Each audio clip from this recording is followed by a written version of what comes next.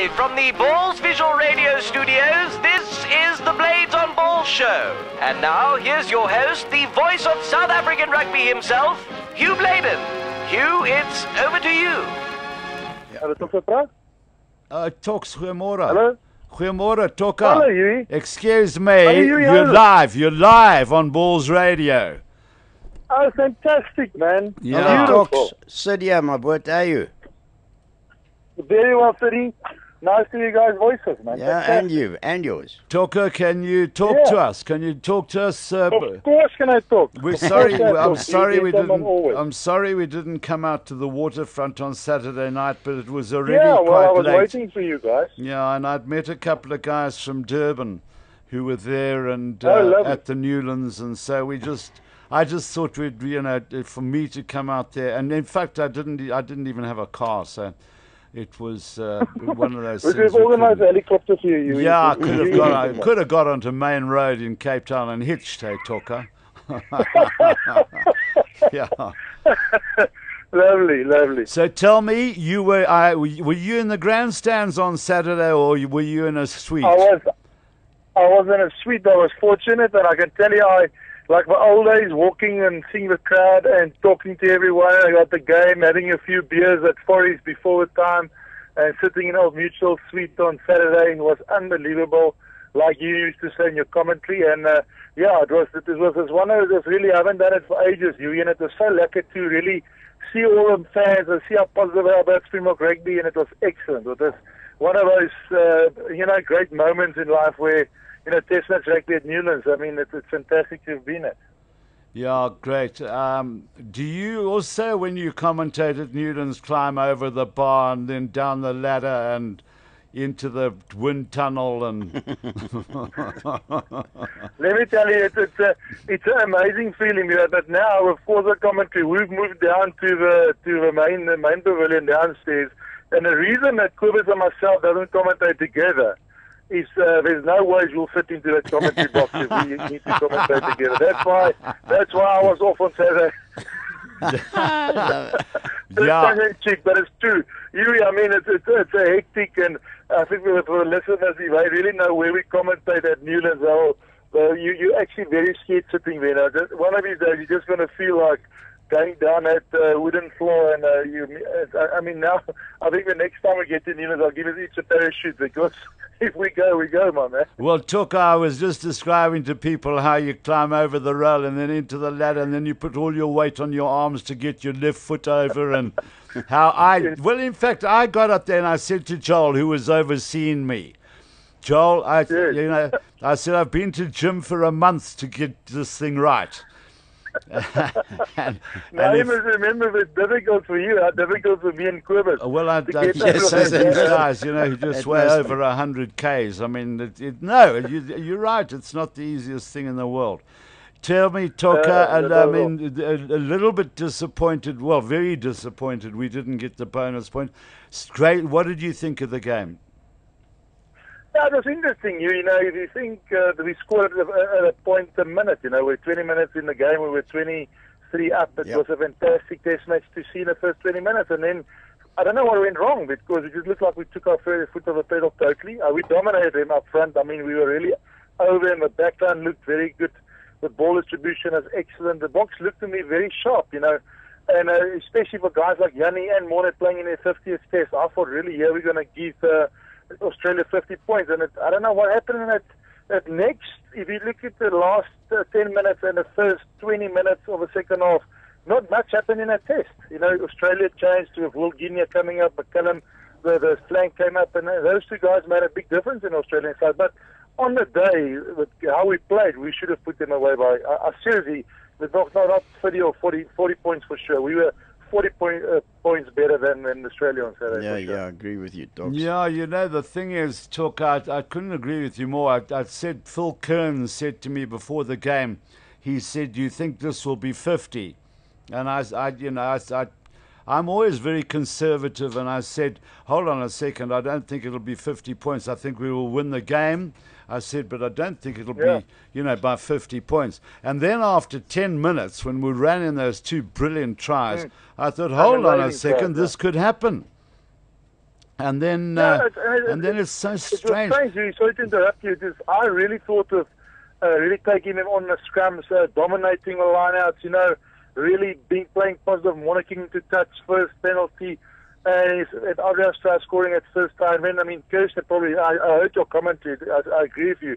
Probably the, the trial of of of, of, of, of for uh, test matches I haven't seen for ages, you know, and, and what a wonderful way of, of creating the ball and running into space, and with John Avalida's pass to, to JJ Engelbrecht for putting uh, Zane Kirchner Yeah, away brilliant. was fantastic. Fabulous, And, yeah. and I just said, I said to the guy in the suite, I said, my score was in the raffle was 50-12. You know, and I thought, phew, no, this is going to be miles away. You know, we're going to club him by 40. And, yeah, like you say, for, for the next 25 minutes, not much happened in that test, and that was sad to see. Yeah. Very yeah. sad to see. It was, funnily enough, on, on Saturday night, and I find this after test matches at 5 o'clock Sydney, that I, you know, I spent some time chatting to my mates from Durban and members of our crew and that sort of thing. And uh, I got into bed uh, sort of around about quarter to 12. And, uh, and I couldn't go to sleep. You know, I, I was so wide Yeah. awake and the whole thing, because I, you, I think your adrenaline's still pumping and the whole For bit. sure.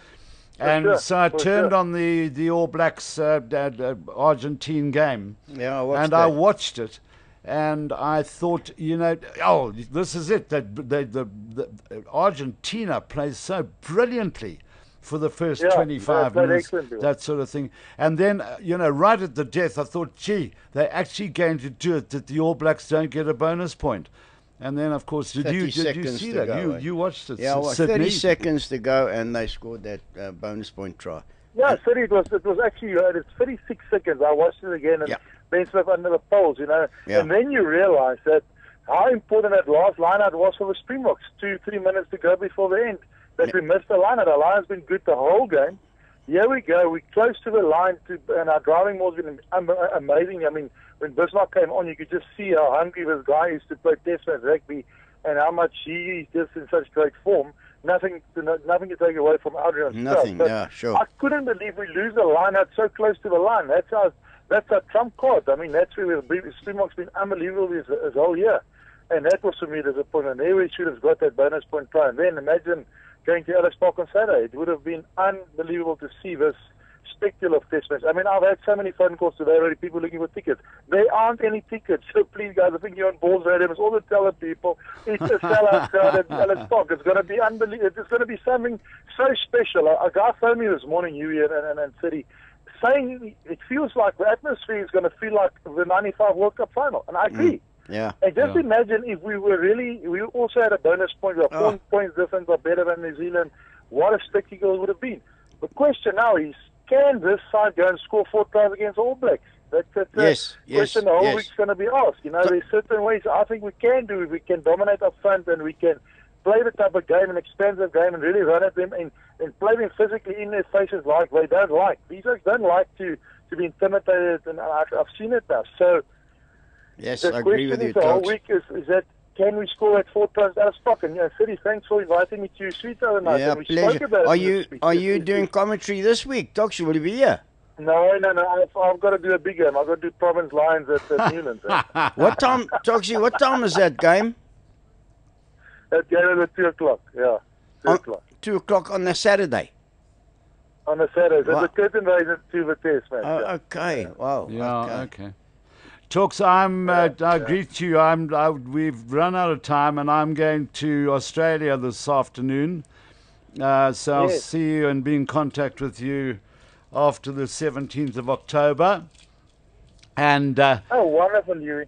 have a wonderful. Uh, d- d- you know, my. Uh, I'm so looking forward. I haven't seen my family over in Australia for nearly three years. Good. I've got three, my son and daughter-in-law, and three grandchildren there, and I. Uh, but the one thing I really am sorry about is that uh, I'm going to miss this test on on Saturday. Uh, because I, Yeah, I think it you. going to be a huge event. However, I will be either at home at my son and daughter-in-law's home, or we might find a little bear somewhere. Nah. No, a little bear. Find a little bear. have a have a VB. Have a VB, and I know the Aussies and New Zealanders don't get on all that well, so maybe we'll have a few Aussies shouting for us. So it could be I quite must tell fun. you a very funny story before you go. And uh, when we used to play in Australia, always looking for beers, I couldn't remember the one beer, and I said, "Man, that that XXXX beer, you know." I mean, I know they call it the four X beer. and, and the guys are still teasing me about that. So yeah, yeah, I can enjoy it, man. It's wonderful. I know your son well. Send my regards, and I hope you travel safe. And Thanks, yeah, Tuka. City will be in the suite, I know, and. Uh, it's wonderful to spend time with you two gentlemen last uh, Yeah. two weeks ago in What your a- suite, and you're always scholar and gentleman, and, and always brilliant to talk to you. And yeah, lovely man. One- It's, it's, one uh, question- Rugby is uh, strong and well, and I can't wait to also have a test match on Saturday. One question from City, uh, Docs. Um, do you think Western Province Rugby will ever move to Cape Town Stadium? I mean, Newlands, a hallowed ground. Do you think it'll ever move? Your opinion? No, City's a good question. You know, it's it's, it's, it's a hell of an exercise to do it. You know, and the major main problem, and I've spoken to a lot of the guys, is Newlands got 387 suites. Oh, Uh, was, that I was only uh, 300 uh, out. yeah, so, yeah, so the, the problem is that, that, that the new stadium, they'll have to spend another, say, 340 to 400 million bucks Wow. to, to create new suites. You know, the, the, the Cape Town Stadium at, at this stage is taking 68,000 people, and I spoke to a guy who's uh, a good mate of mine here at the stadium, new stadium. He said, if they bring in the suites, they'll have to, to, to bring down that spectatorship to about 58,000. So Wow. to drop down 10,000 people being in suites. So, so yeah, it's interesting. Yeah. Is that the way we want to go? Uh, it's- uh, for me, sad on Saturday to see there were still open spaces for a test match. at Yes. I oh, I meant to bring that and I- up. Yeah. really. It- So, so that was sad to see, but uh, uh, we don't know. We don't know. I think there's so much tradition, and and, uh, if you talk to all the older players, they say now they want to stay at Newlands. Mm. But in the long run, you never know. Most of the test matches now belongs to Saru. Yeah. Will Saru ever uh, give another test match to Newlands? We don't know. Maybe Yeah. the next one will be the Cape Town Stadium. Very, that, very interesting, that, uh, Docs. we leave, so we leave that to, to the administrators of, of the government. that be, So- Docs, yeah. but whenever yeah, you... it will be sad to see uh, Test match rugby leave Newlands, but we never know what the, what the future holds. Brother, whenever you're in Joburg, you know where to come, eh? No, for sure. It's, it is, it's wonderful to, to see you guys and always being so positive. and you listening to you on, on Saturday in the street, uh, your, your commentary and that is wonderful. Uh, really, it's, the people love it. And uh, yeah, it was, uh, I just hope, I've got a feeling, I don't know, I've got a funny feeling that, well, you remember that test match you, and I wonder, I think you did that match, is that when Maurice Best scored those three tries Yeah, I did. Blacks. We're just, might- we're just might, talking it about might go it. that yeah. way this Saturday. I'm actually sitting here with, I don't know what uh, hoendervlees in English is. Ek, ek, ek, ek Chicken gooi altyd pox. daai naam verkeerd, maar- Ja, altyd hoendervlees. Hang on, hoendervlees. Goosepimples. Uh, One I pimples. said the one I said the other day, it's just chicken pox, but I don't think. Yeah. Yeah, but I mean, really, guys, it's so nice to talk to you. And uh, yeah, but I, and I, I- I know I'm, uh, you guys got to go, but you, I must tell you guys a last story is that I love it. a mate of mine went to the tire place over there, and he said he wants four bands Four for his car. And bands. as behind, uh, behind, behind the counter, he said, we know four bands. He says, yeah, man, four bands for my car. I was round four bands. He says, no, man, we don't sell bands. He says, wait, wait, can I phone my friend? He says, yeah, David Tell. I said, hey, wat is Afrikaanse tyres?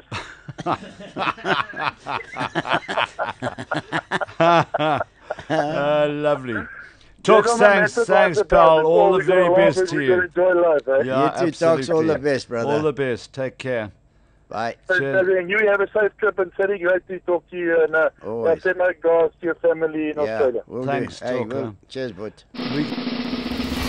That was the Bladez on Ball show. Join the voice of South African rugby on your wireless next Monday for more unbelievable memories and banter. Until then, stay classy, like 20 year old Glenmorangie classy.